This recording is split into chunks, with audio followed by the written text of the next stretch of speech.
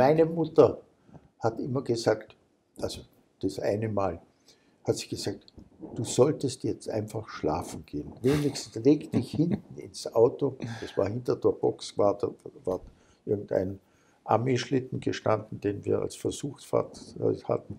Und dann habe ich mich da hinten hineingesetzt, bin natürlich sofort eingeschlafen. Ich habe zwar die Uhr in der Hand gehabt und wollte eigentlich nach zehn Minuten wieder aussteigen und sagen, ich kann eh nicht schlafen. Und dann, nein, dann bin ich aber, ja, ich glaube eine Stunde habe ich geschlafen und dann bin ich wieder aufgehört und war ziemlich beleidigt, weil ich Weil da das eine nicht Dreiviertelstunde Ja. verpasst habe.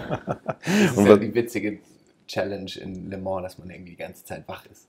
Ja, Absolut, ja. ja, aber ja. irgendwie ähm, ist Le Mans schon das Coolste. Also Le Mans ist, ähm, ja, so wie du es auch immer erzählst, ist Le Mans schon irgendwie ein, ein besonderer Ort und es ist einfach irgendwie ist eine auch krasse für Stimmung. Porsche, Diese Audi, VW. Nachtfahrten. Ja, irre, ne? Also wenn man Ja. da jetzt in diese Porsche-Kurve geht, Mhm. wenn die da durchfahren, also gut, ich sehe jetzt auch schon ein bisschen schlecht, aber wie die da durchpfeifen, Mhm. und zwar, ob es regnet oder trocken ist, bei, Re- bei Regen diese Gischt. Also, da Das Coole heutzutage in, an Le Mans ist ja auch der, der Geschwindigkeitsunterschied. Also wenn dann der 19 irgendwie da vorbeipfeift an den GT3-Autos.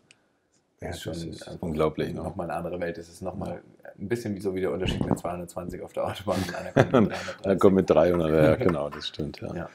Nee, Le Mans ist schon immer eine, eine besondere Geschichte. Erzähl mal das mit dem Opa, wie er zurückgefahren ist. Ähm, mit dem Benzinkanister nach Ah. Deutschland. Also dann muss ich erst erzählen. Ich bin mit meinem Vater, wie er die letzten Male nach Le Mans ist, äh, sind wir in Stuttgart weggefahren, 9 Uhr früh.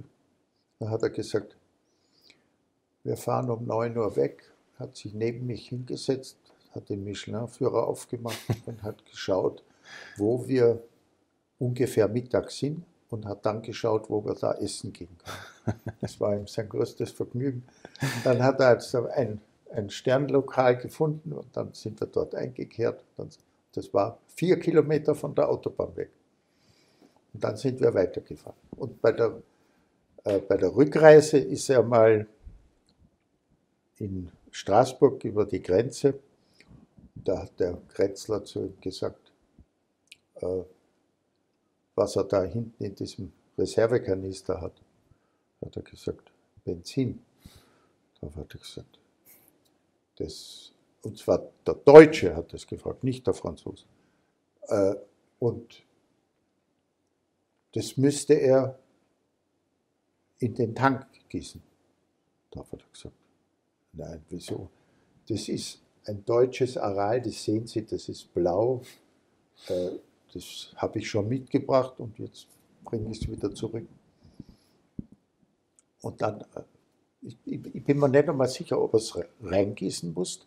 Ich glaube, er hat dann die, die Koffer kontrolliert und dann ist ein, ein äh, Franzose, ist, äh, ein französischer Grenzler ist vorbeigegangen und hat gesagt, Gell, Herr Porsche, das ist schon schön, wenn man mit einem Erfolg aus Le Mans kommt, wie man in der Heimat wieder begrüßt wird.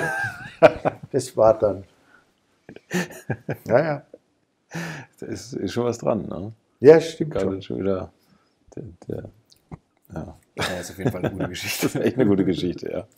Was war so das beeindruckendste Le Mans-Jahr für Sie? War das so die, die alte Zeit, der erste Sieg 1970 mit Hans Hermann oder die Ja, späteren Hans Jahre? Hermann, das war natürlich, es war halt der erste Gesamtsieg. Und das, da war es spitz auf Knopf. Also da musste, da musste ein Gesamtsieg her, ne? Mit dem Ja. 917. Und da, und da war es ein, kein nur schönes Wetter. Hm. Da gab es nachts Regen und nach der, nach der Startgeraden geht's ja dann so, macht ja so eine leichte Rechtskurve und dann kommt man unter dem Dunderbogen durch, ja.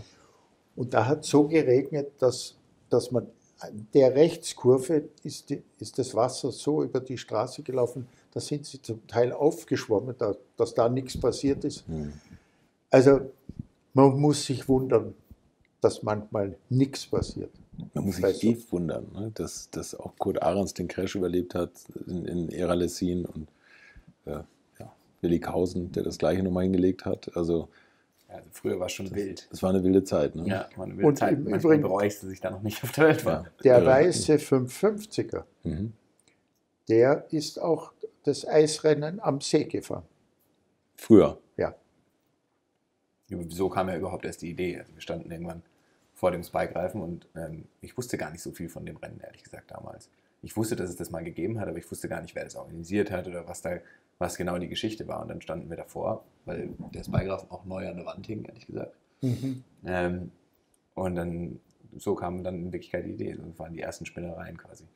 Ähm, zu überlegen, aber also so, wir haben uns dann gefragt, warum es so, das nicht mehr gibt, weil nur dass der See nicht mehr wirklich zufriert, kann ja keine Ausrede sein. Das haben wir auch rausgefunden, relativ schnell ähm, im Internet, dass es damals auch schon nicht immer nur auf dem See war, sondern auch manchmal auf dem Flugplatz. Ach so, okay. Damals war das deswegen dann auf dem Flugplatz, weil auf dem See zu viel Schnee lag. Also das waren auch noch ähm, andere Zeiten.